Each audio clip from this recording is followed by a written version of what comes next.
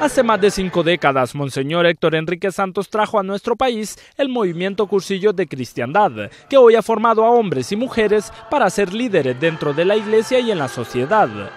Primero que representa es el acierto de Monseñor Héctor Enrique Santos cuando hace 52 años trajo de la hermana República del Salvador y de la hermana Iglesia del Salvador a Crucillos de Cristiandad.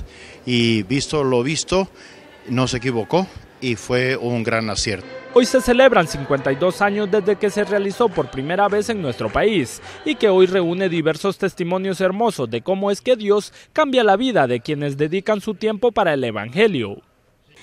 Eh, no es que soy otra persona, pero sí soy la persona que Cristo quería que yo fuera desde que me formó. Y entonces salimos a ese ambiente, a misionar, a evangelizar, a darnos. Y como decía, no solamente en la palabra, sino con el testimonio para que otros se enamoren de Cristo como nosotros nos enamoramos en Él y lo busquen a través de cursillos de cristiandad. Pues el movimiento ha tenido un papel bien importante dentro de la evangelización en Honduras desde que entró. No estoy diciendo que es el único movimiento que, que ha evangelizado, pero sí ha sido uno de los movimientos que ha llevado la evangelización hasta, mm, hasta los distintos niveles económicos, de, ¿verdad? distintas clases sociales.